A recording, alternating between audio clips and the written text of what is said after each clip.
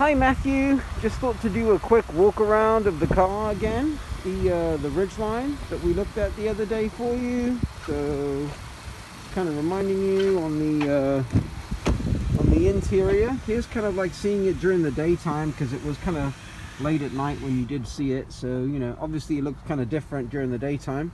You have the contrasting stitch and the perforated leather over here.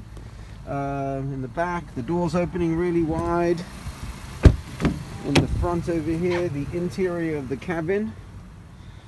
You know the light the lighter colored roof liner of course as well sunroof and everything. So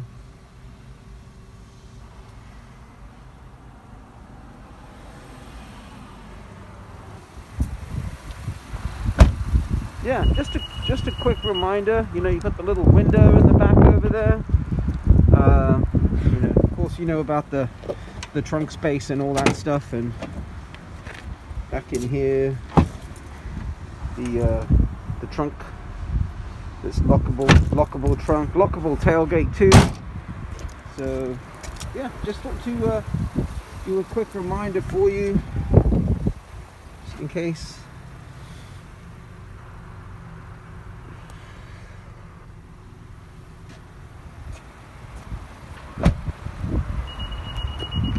beeping at me. Well, hope to talk to you again soon, man. Hopefully we can get something worked out for you when you're ready.